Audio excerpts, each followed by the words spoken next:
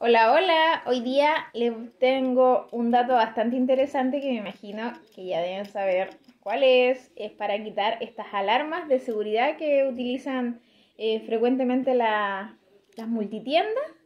En este caso, eh, yo se lo puse a este peluche aquí en, el, en la manito porque a mí me acaba de pasar con una tapa para cama que a la cajera no le sacó la alarma entonces obviamente no iba a volver a la multitienda para que la quitara nuevamente, que pucha, oye, ¿sabes que me fui con la alarma, qué sé yo?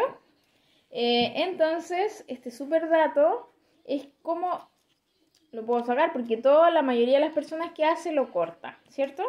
Trata de destruirlo y al, y al, y al final, eh, igual la otra parte, la que está pillada, igual les queda como dañada. En este caso, eh, yo lo que hice fue quitarlo con un imán. Tiene que ser un imán igual bastante grande. En este caso yo ocupé este, que es de una linterna como ustedes pueden ver. Miren. Uh. Entonces, eh, este es el imán más grande que entre comillas encontré porque tiene que ser bastante eh, fuerte el imán por así decirlo. Este es bastante grueso.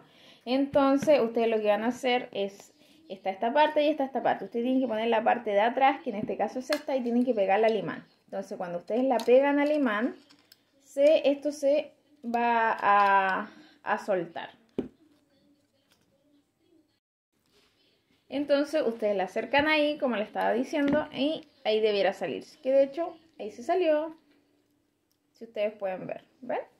Y ahí le quedó la manito a nuestro peluche totalmente sanita, si no se lo tira. De hecho, hay gente que a veces corta nomás, si no es mucho daño, porque a veces viene en la etiqueta. Pero mire, ahí lo vamos a hacer de nuevo. Estas son dos partes, que esto es una parte como de, de aguja, por así decirlo. Y está esta parte, que aquí obviamente tiene el sensor, entonces ustedes la pillan ahí. Voy a hacer la prueba de nuevo. Entonces ahí está pillada, No se sale, nada. Entonces la ponemos en, en el imán y inmediatamente se sale, como pueden ver. Ahí.